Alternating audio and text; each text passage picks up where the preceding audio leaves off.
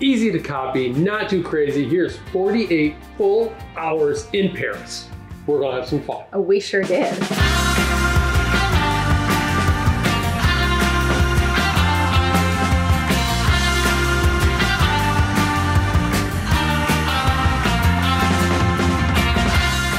So we were staying in London for a little bit of time. We're like, you know what, we need a little Paris.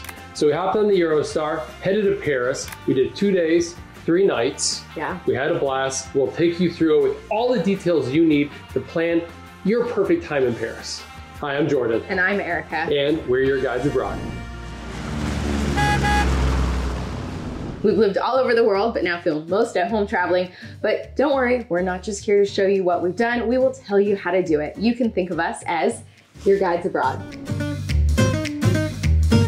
All right, Paris has so much to offer, obviously, and we have a very limited amount of time, but we are mhm. keeping it culturally rich, interesting. We are throwing in some great food, and don't worry, plenty of walking through those beautiful Paris streets. Don't film, don't film. Don't.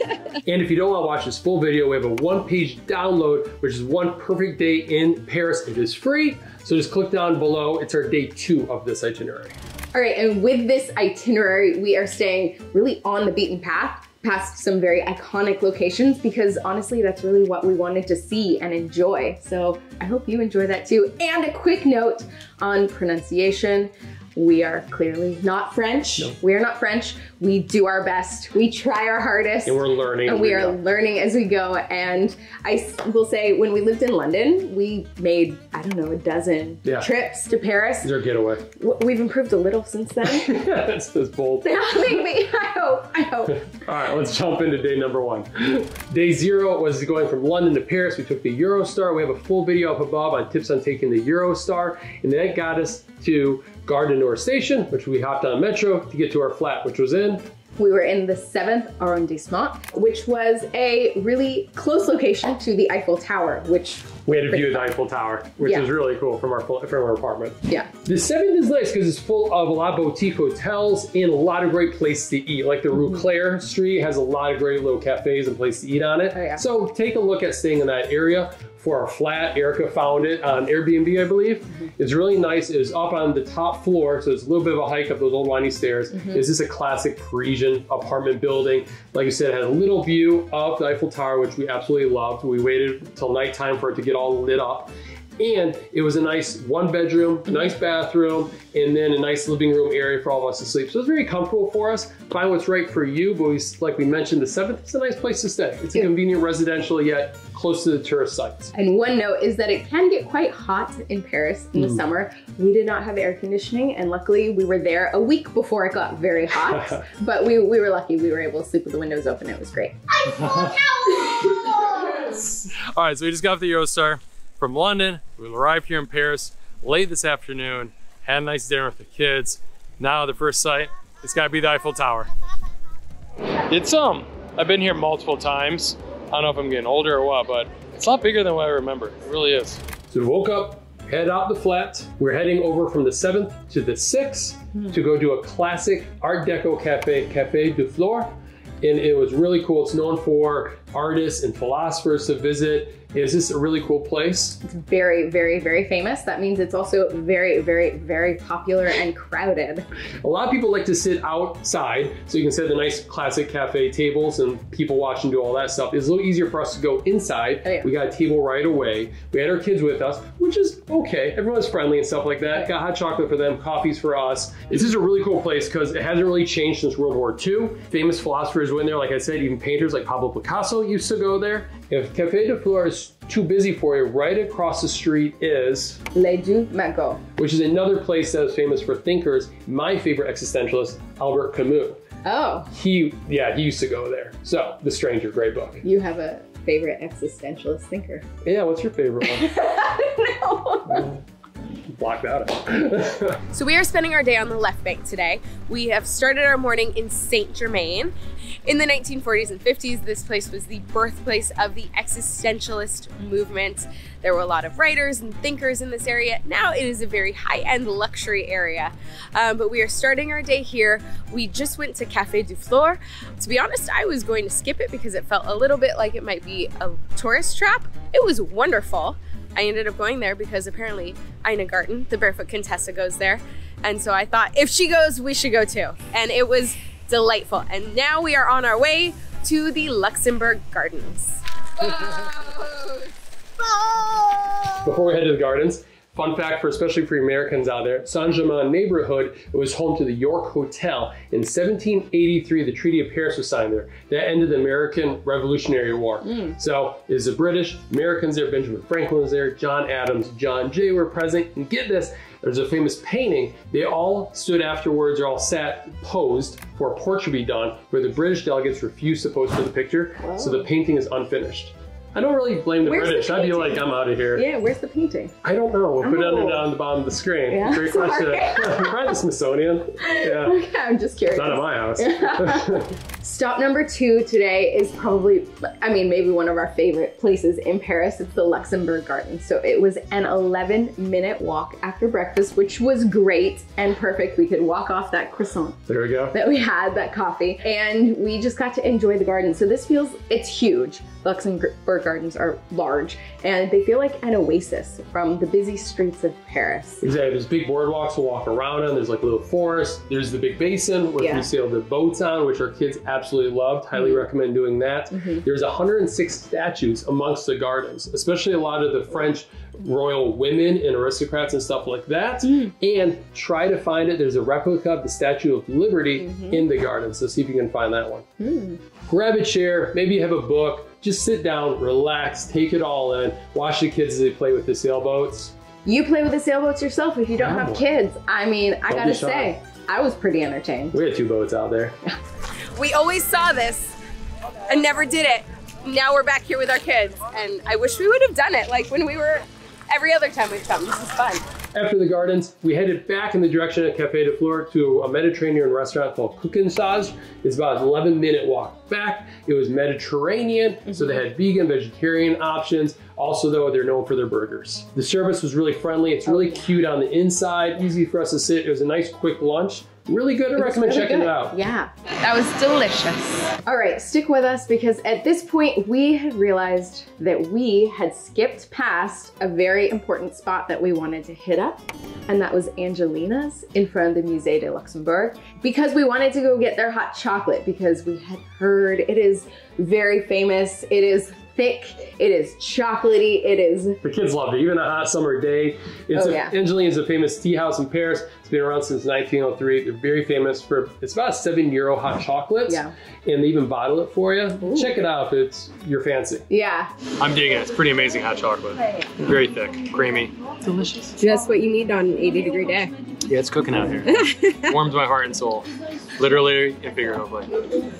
So we got a correction on this itinerary, right? All right, we're going to do a boat tour next on the Seine, but do as we say, not as we did. We were hungry and we wanted to do like a picnic on the Eiffel Tower. So we did the 40 minute walk back to our flat. And on the way, we passed the Bon Marché department store, which is a very famous department store. And across the street is Le Grand, I can't say it. Okay. We'll just- Le Grand. L'épicerie. Nice. Le Grand Librairie.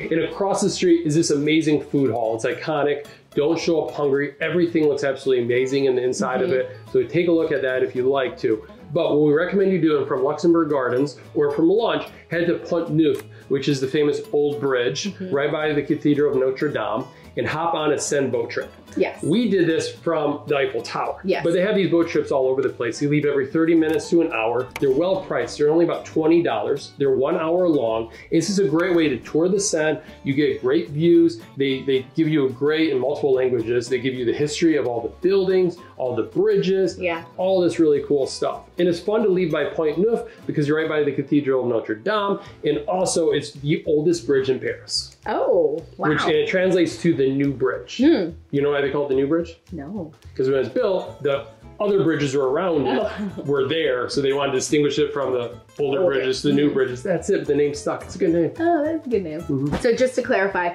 boat tour of the Seine is a great, fun thing to do, especially in the evening. Like, Oh, yeah, it's very nice. Yeah. Sounds touristy, but it's a great tourist I thing mean, to do. it is touristy, Yeah. absolutely. But, but- everyone getting off the boat looked very happy. Yeah. We too. And there are two main places that you can leave from, either Pont Neuf, which would be very convenient for this itinerary, or the Eiffel Tower, which is where we left from.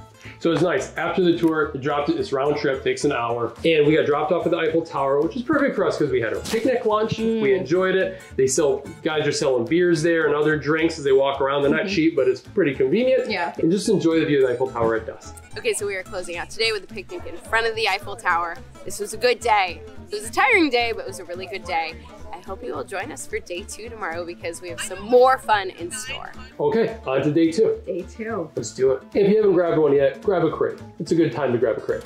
Good morning and welcome to day two. You've woken up, you're ready to go explore the city. Today we're gonna go to the right bank and the left bank. Ooh. So we're gonna check out quite a few neighborhoods to get out there. And this day is a free download that we have. Click down below so you know where to make the reservations, pick your place for dinners, get the tickets. All that is described in the one page download. And don't worry, once you have that, at least you have one perfect day in Paris planned out. And you will find this on our website at yourguidesabroad.com slash Paris, where we have a full guide with this free download. That's helpful. Mm-hmm. And you probably won't have this on your itinerary unless you are staying in the same neighborhood we stayed in. But we did get a very substantial breakfast this morning at Cozy Basket. It was great pancakes and toast and like very much a non-French breakfast because it was very, very hearty. If you don't get a breakfast, there's lots of food places on our There's itinerary. cafes in So, Paris. yeah, yeah, yeah. plenty. check out the itinerary too. Like you said, if you stay in the seventh, Rue Cler is is a great food street to grab some breakfast.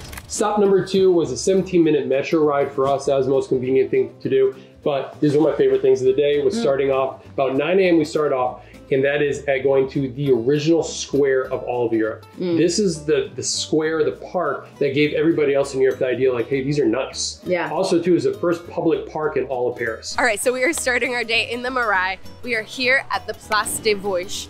This was the first public park in Paris, and it was the inspiration for hundreds of different squares in Europe. It was nice going at 9 a.m. in the morning because it's really quiet there in the square. So you can just enjoy the fountains, look around. If you want a little bit more, get this. Victor Hugo's house is on the corner. Oh. We'll link to it down below. You can do a free tour of it. And it was cool because I just finished The Hunchback of Notre Dame. Oh. And the book was actually written for like, it's like a love letter to Paris. Oh. At the time when he was around, they were like destroying a lot of the historical sites around Paris. So he wrote the book to tell like the Parisians, like, look, like amazing things that we have here, like the Cathedral of Notre Dame that we want to keep because there's so much history here. Mm-hmm. So, anyways, there's a lot to the book, more than just a hunchback. Knowing you're in a park, they got like little subtle hints saying stay off the grass. I'm getting that feeling in this park. From here, we did a walking tour of the Marais. It's a great neighborhood. It's trendy. It has a lot of history. It has cobblestone streets and like windy passageways. It was formed, it goes back to the Roman times, but in the 13th century, the Knight Templars lived there. Has a large Jewish community there that's also been there since the 13th century. So we walked around and then we went to a Jewish bakery for some Jewish baked goods. Kids loved it. We loved it. It was a great little piece of culture too. It's a really cool neighborhood. Mm-hmm. The neighborhood means the marshlands because there's oh. like a low part of the city, so it's very flat, easy to walk around. So we kind of got there, get on to the next stop, but you can definitely walk and tour the neighborhood as much as you like. We have a lot of food on this day, you'll find out. All right, right now we're heading to one of the oldest markets in Paris. I think it's the oldest one. It was formed in 1628. It is the Market of the Red Children. Whoa. Yeah, you know why they call them that? So an orphanage was next door. I don't know why I asked her these questions. It's not her fault. She's not supposed to know this stuff. So there was an orphanage next to this market, and apparently all the kids wore red because red was the was the color of charity. Oh. So it's a market of the red children. There you'll find a lot of like basic produce and flowers. Yes. We also find an eclectic mix of food, Yes. food stalls. Yes. So you can have lunch here. For us, we just picked up some snacks. Some juice. It some was fresh really. Cute. great. It was really nice. And it was because it was like late mid morning. Mm-hmm. It was it was a good stop because it wasn't too busy yet. They're all kind of waking up and opening up their shops. And as we mentioned, it does feel like we are doing a lot of food stops, but it's Paris. it's Paris, first Yeah. of all. And second of all, it's because we are taking our time wandering through these really different and charming yeah. streets and, you know, small alleyways. We love the architecture, especially Mm. in Paris, so we love walking through the streets. So now it's an 18 minute walk from the market to lunch. Yeah. Lunch opens at noon, but we made a quick stop at the Hotel de Ville, which is a municipal building, it's City Hall. Mm-hmm. And it was cool because they're advertising the Paris Olympics, which are coming this summer, Mm-hmm. and there's a big plaza to explore too. Okay, the sun's really bad right now, but it's a very pretty building. And you can also see Notre Dame right there. So if you want to head over to Notre Dame, this is an easy walk across the bridge. Lunch was excellent. Erica was. found it. It's Thank her you. traditional restaurant, family owned and operated. Mhm. It's on the banks of the Seine. We sat outside, which is actually very loud, Yeah. but we recommend it. Yeah. And we got a small sliver of a view of Notre Dame. Yeah. That's how close we were to it. Yeah. So it's fun to have a traditional French lunch. We did salads and potatoes. We weren't big into steak, but we couldn't help ourselves. We got a little bit of wine. Yeah. Oh, we sure did. The next stop we grab tickets for, so you might want to grab those in advance. You can take a 30 minute walk, or if you are just done with walking and you are tired of us, you can hop on the metro for a couple stops and go to the Musée d'Orsay. So this is nice. You can either do the Musée d'Orsay or you can do the Louvre, which is just across the street. Yep. What we did was we didn't do the Louvre, but we went into the Tuileries, which is the garden, Mm-hmm. and walked around that because we're curious to check it out. It was very busy and a little dusty and hot, so we head over to the Air Conditioning Museum, which is one of our favorite museums in Paris. Absolutely. So this museum has about 140 impressionist paintings in it. It's mm-hmm. impressionism and post-impressionism. The building itself is in an old Beaux Arts railway station. So the building's absolutely gorgeous. Inside you'll find Monet, Manet, Degas sculptures, Van Goghs, you'll find um, Renoirs. It is absolutely amazing. And that wasn't too bad. I didn't do art history. I was a chemical engineer. Yeah. So yeah, that wasn't bad, huh? well. Yeah, I pretty didn't do good. art history either. All right, so we don't usually do this, but we wanted to get a picture at this museum. Yeah. So when we were pregnant with our son, we got a picture in front of the clock. And Yeah. this is what is a railway station, so there's these beautiful big clocks out there. The place to get your photo here, because I'm sure you want to also, is on the fifth floor. Which is great because the fifth floor, you walk through all the most famous Impressionist artists there. Mm-hmm. So we got a picture here when Henry was in her tummy. and then we want to get another one both the kids already born. Yeah. So we're happy to get that one. You can spend two hours at this museum. Oh, easily. It's Yeah. three stories. It's pretty busy too. I think it's the sixth most popular museum in the world to visit. Wow.